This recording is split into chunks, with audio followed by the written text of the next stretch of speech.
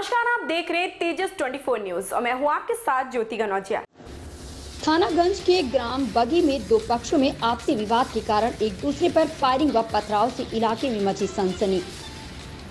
सूचना मिलते ही पुलिस तुरंत घटनास्थल पर पहुँची और घायलों को जिला अस्पताल भेजा। इस विवाद में सात लोग घायल हो गए। 21 आरोपियों को पुलिस ने गिरफ़्तार किया। जिनके कब्जे से सात नाजायज शस्त्र में चौदह ज़िंदा व नौ खोखा कारतूस बरामद। जनपद रामपुर के थानागंज स्थित ग्राम बगी में दो पक्षों में मामूली विवाद पर हुआ बवाल। दोनों पक्ष एक दूसरे की जान लेने पर उतारू हो गए और दोनों तरफ़ से फायरिंग, पत्थरबाजी और लाठी डंडे चालू हो गए। प्रत्यक्षदर्शियों के मुताबिक एक पक्ष के बिलाल की कार द्वारा दूसरे पक्ष की सैजी की मोटरसाइकिल में साइड लगने के कारण दोनों पक्षों में विवाद हो गया तथा दोनों पक्ष एक दूसरे पर फायरिंग व पथराव करने लगे। बहरहाल, सूचना मिलते ही थानागंज पुलिस द्वारा तुरंत मौके पर पहुंचकर फायरिंग व पथराव कर रहे लोगों को समझाने का प्रयास किया, लेकिन दोनों ही पक्ष और अधिक उग्र हो गए। पुलिस द्वारा स्थिति पर काबू पाते हुए कुल 21 व्यक्तियों को मौके से गिरफ़्तार कर लिया। वहीं इस मामले पर अपर पुलिस अधीक्षक डॉक्टर संसार सिंह ने बताया, ग्राम बगी में राशन की दुकान पर राशन वितरण हो रहा था। भूरा की लड़की की मोटरसाइकिल खड़ी हुई थी। दूसरे पक्ष का बिलाल अपनी कार लेकर जा रहा था। कार मोटरसाइकिल से रगड़ गई, जिससे उसकी मोटरसाइकिल क्षतिग्रस्त हो गई।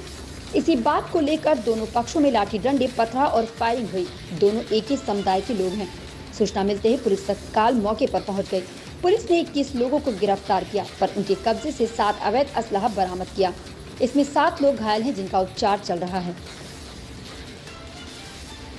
आज़म खान की रिपोर्ट। थाना थाना क्षेत्र के गाँव बरगी में कल मारपीट और फायरिंग की घटना घटित हुई है। क्या है पूरा मामला? ग्राम बगी पड़ता है थानागंज क्षेत्र में। यहाँ पर राशन वितरण हो रहा था। राशन वितरण की दुकान पर बुरा की लड़की की मोटरसाइकिल खड़ी हुई थी। तभी दूसरे पक्ष का बिलाल वहाँ से अपनी कार लेकर जा रहा था। उसकी कार मोटरसाइकिल से रगड़ गई, जिससे मोटरसाइकिल क्षतिग्रस्त हो गई।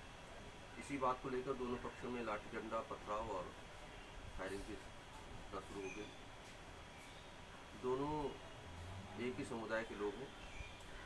पुलिस तत्काल मौके पर पहुँच गई।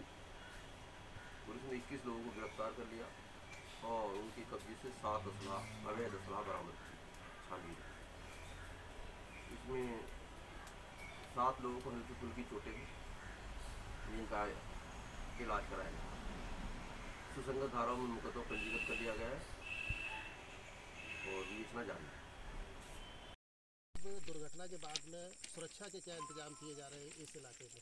यहाँ पे दो थानों की फोर्स बुला ली गई है जिसके बीच का ये घटना स्थल है जहाँ बलरई और जसवंत नगर।